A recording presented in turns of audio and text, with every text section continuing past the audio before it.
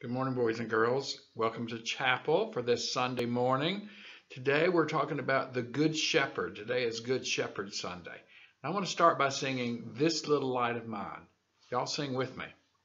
This little light of mine, I'm gonna let it shine. This little light of mine, I'm gonna let it shine. This little light of mine, I'm gonna let it shine, let it shine, let it shine, let it shine. Hide it under a bushel, no, I'm gonna let it shine. Hide it under a bushel, no, I'm gonna let it shine. Hide it under a bushel, no, I'm gonna let it shine. Let it shine, let it shine, let it shine. Don't let Satan it out, I'm gonna let it shine. Don't let Satan it out. I'm gonna let it shine. Don't let Satan it out. I'm gonna let it shine, let it shine, let it shine, let it shine. Very good. Thank you for singing.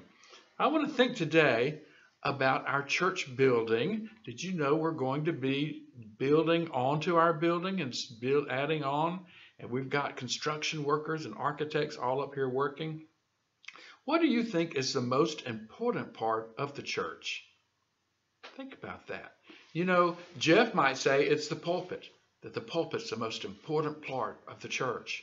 Or Gail might say, no, it's the altar. The altar is the most important part. Or our organist might say, the organ is the most important part of our church. Maybe your parents would say, the pew where we sit as a family is the most important part. And it's important that it's comfortable and that we can see what's going on. What would you say? Would you say maybe children's chapel is the most important part of the church? Or our catechesis classrooms? Or maybe the playground? What would you say is the most important part of our church?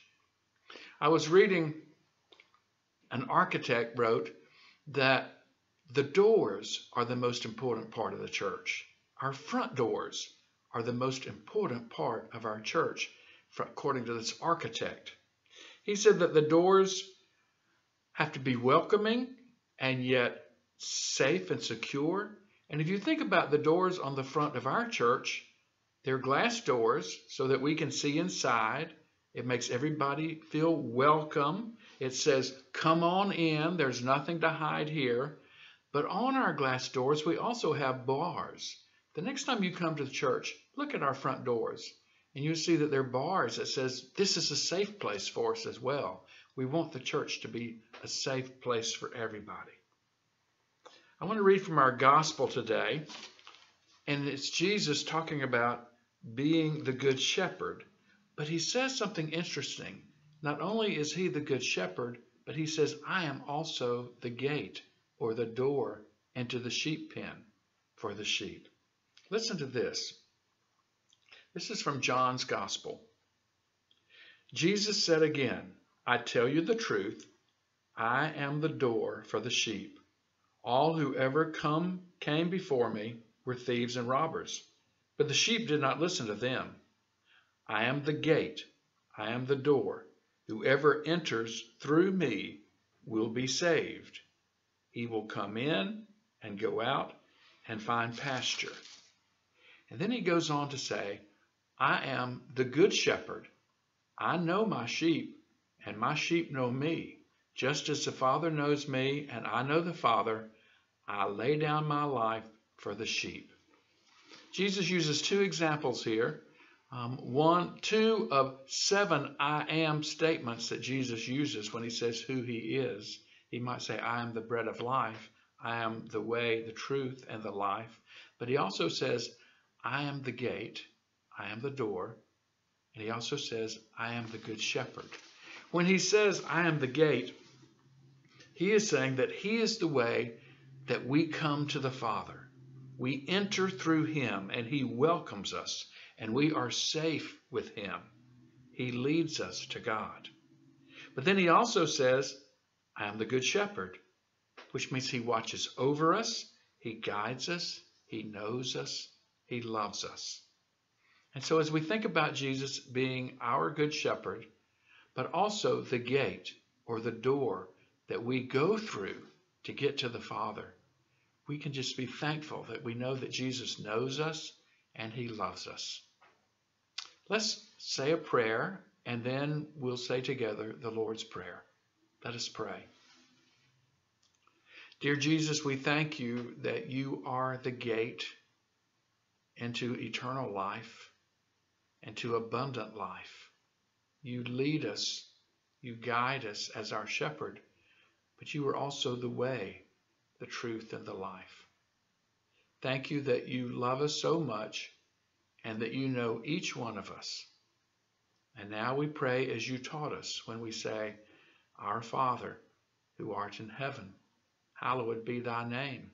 Thy kingdom come, thy will be done, on earth as it is in heaven. Give us this day our daily bread, and forgive us our trespasses, as we forgive those who trespass against us. And lead us not into temptation, but deliver us from evil. For thine is the kingdom, and the power, and the glory, forever and ever. Amen.